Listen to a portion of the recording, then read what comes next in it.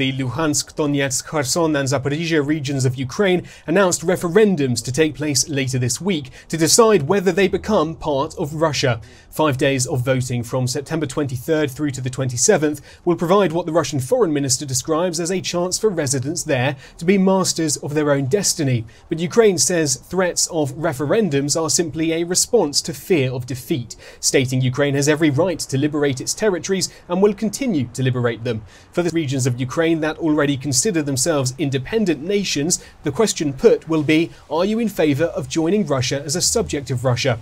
For regions internationally recognised as part of Ukraine, including by Russia, there will be three questions. Are you in favour of succeeding from Ukraine, the formation of an independent state, and then entry into the Russian Federation as a subject of Russia?